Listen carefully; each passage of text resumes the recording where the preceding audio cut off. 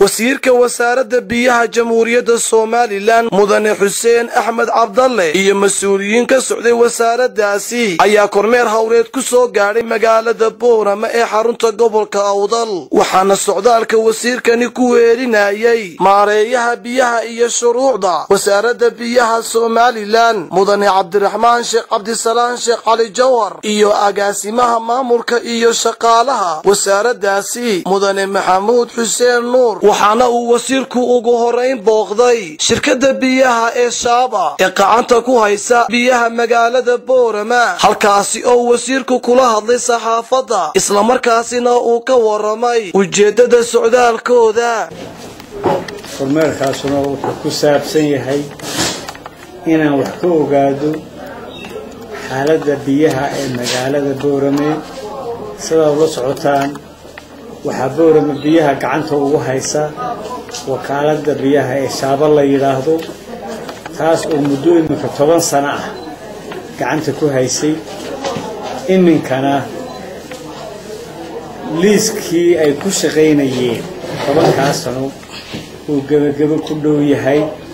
Si haddaba xaaladda guud ee biyaha waxqabadka shaabo loo ogaado ayaan saaka halkan u imid anigoo la kulmi doona saddexda dhinac ee heshiiskaas ay shaaba ku shaqaysay wada saxeexay. Mar kale waxa uu wasiirku sheegay in ay joogi doonaan magaalada boorama ilaa maalinta berito. Wasiirka oo arrimahaas iyo arrimo kale ka hadlayana waxaa hadalladiisa ka mid ahaa. Waxaan la kulmayaa dadweynaha reer boorame oo aan doonayaa inaan iyakana la qaybsado fikradda ay ka qabaan wakaaladaasu intii ay jirtay waxqabadkooda siday ku yihiin iyo haddii ay carqalada jiraanba.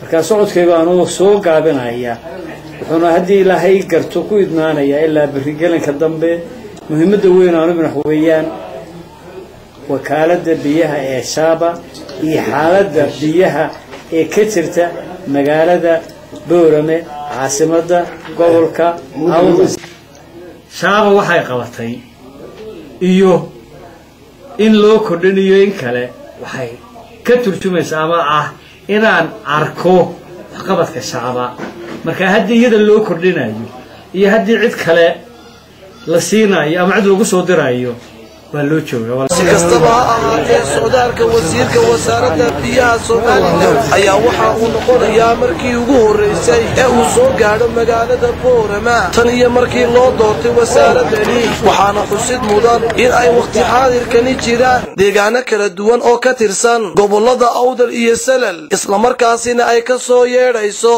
qayladhaan aad u ballaadhan oo ku aadan dhinaca biyaha. Maxamed cabdilaahi dabshid cadeed dot com magaalada boorama